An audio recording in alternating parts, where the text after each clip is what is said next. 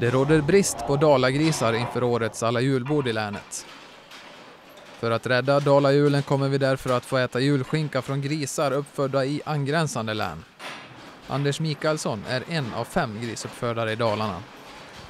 Ja, när det gäller eh, dalagrisarna då typ på julbordet då, så grisarna i Dalarna räcker ju inte till alltså, utan eh, vi kommer, Siljan kommer ju att ta in grisar från angränsande län också. Vi måste utöka regionen då för att det finns inte tillräckligt med, med grisar i Dalarna idag. Ja, i den här uh, suggringen så föder vi upp ungefär 13 500 grisar idag. Trots bristen av dalagrisar ser Anders positivt på framtiden. Fler konsumenter väljer lokalproducerat och fler bönder vill ansluta till den lokala uppfödningen av grisar.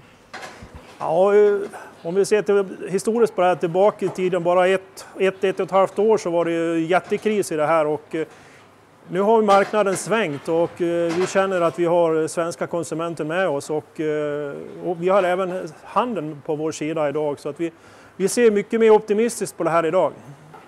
Eh, det finns planer på att vi ska utöka den här suggringen, det gör det.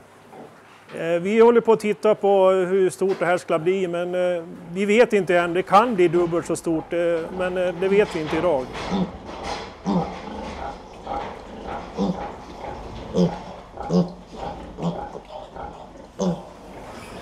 Konsumenten är inte lika priskänslig idag. Konsumenten efterfrågar spårbarhet och vill veta vad de får för någonting idag. Och eh, lågprisköret har minskat i betydelse klart att det måste vara